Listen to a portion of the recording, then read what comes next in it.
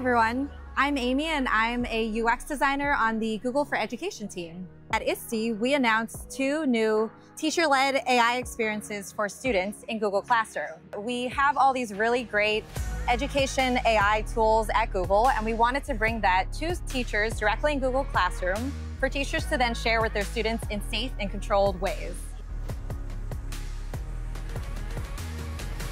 The first tool that we announced today was Notebook LM.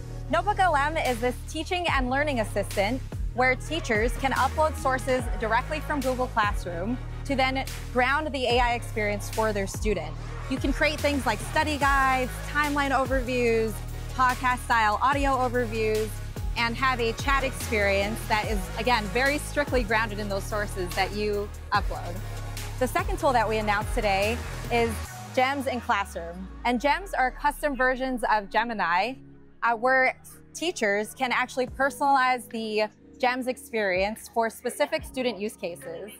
For example, if you're a ninth grade biology teacher, you can create a study partner for your students that is an expert in mitosis and meiosis.